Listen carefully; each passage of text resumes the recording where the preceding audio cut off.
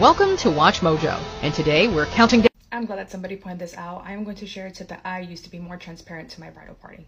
Before I got engaged, I was a bridesmaid before, and I wasn't fully aware of all the costs and expectations associated with being a bridesmaid. I felt very insecure doing this, but I'm ultimately glad that I did, and that was include a letter of what I expected for my bridal party.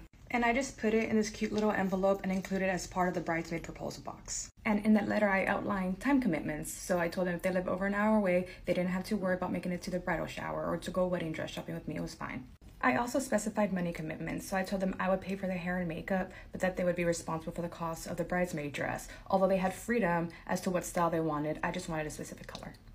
But most importantly, I told them that they could say no to being a bridesmaid, that we would Yes, I will share my transparency letter, but I want to emphasize that the reason behind my last video was more to introduce the concept of normalizing brides being transparent about what they expect from a bridal party, and also to allow bridesmaids to say no if they don't want to be part of that commitment.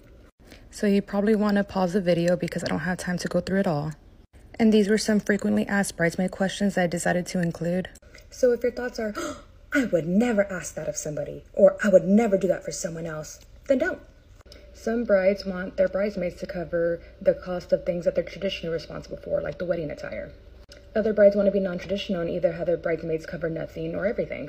People are just different. Brides want different things, bridesmaids expect different things. This is why I think a transparency letter is a good idea. That way everybody's on the same page.